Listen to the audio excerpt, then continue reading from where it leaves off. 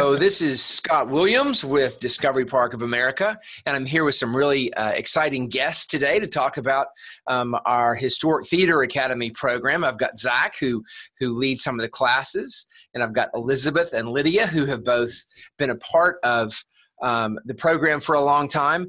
Uh, Lydia, we'll start with you. Why don't you tell me uh, a little bit about how you heard, first heard about HTA and what made you want to get involved?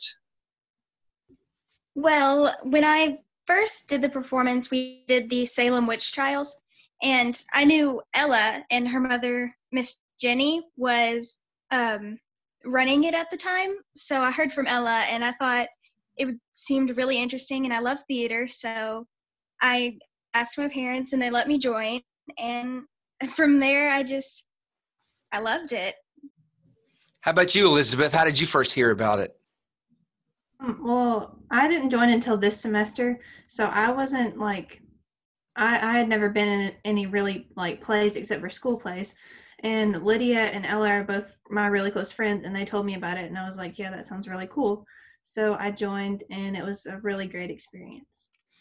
And so, Zach, um, tell us a little bit about um, what is HTA, and and what do what do uh, young people do when they become a part of it? Well, HTA, the Historical Theater Academy, is basically a class where students basically develop an entire play. They go from the beginning with concept of a story, a historical event, and then they write, create, and then produce, and then ultimately act in a play of their own creation.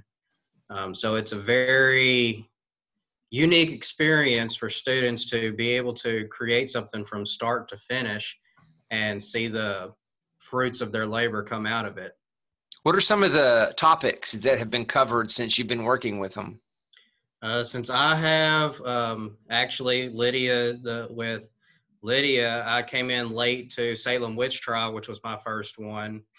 Uh, following that, uh, pardon me, I might get them mixed up in the time period of when we did them or did them. Um, we did Hamilton and Burr, the famous duel between uh, those two individuals. We did. Um, it was a story on American, basically American gangsters with uh, John Dillinger and all the different uh, gangs during the 1920s uh, and or the 1920s and 1930s. Um, we did Edison or Tesla and Edison, and then this last one we did the history of theater. So history from ancient Greek theater all the way up to modern uh, musicals. Um, Lydia, you've uh, been in a lot of those. Uh, what do you feel like being in in the Historical Theater Academy has added added to your life? I would say that it's helped me become a better actor, but also um, expand my group of friends. Before I started the theater, I didn't know any of these people, but now I couldn't imagine ever not knowing them. They've added so much to my life, and I really enjoy spending time with them and doing theater with them, and it just brings us closer together. So I think that would be one of the really big things that's brought to me. So, Elizabeth, this was your first time to do it. Um, are, were you glad you did it? Uh, yeah, it definitely pushed me out of my comfort zone because I never thought I could ever really act and memorize lines and do that. But I definitely had a lot of fun doing it, and it was just really fun to expand what I thought I could do and make friends out of it. Well, and I saw the performance, and you did great. It was uh, a lot of fun. Thank you.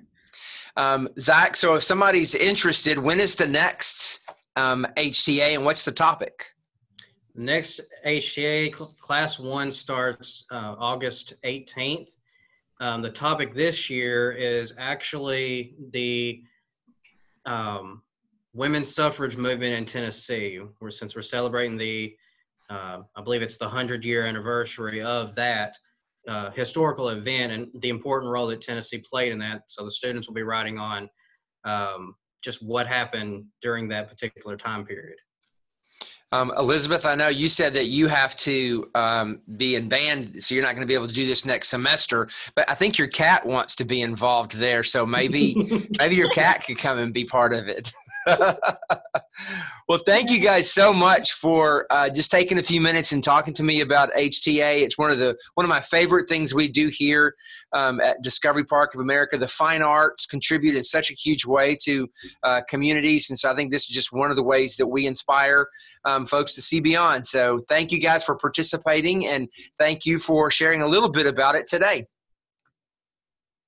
Yeah. Thank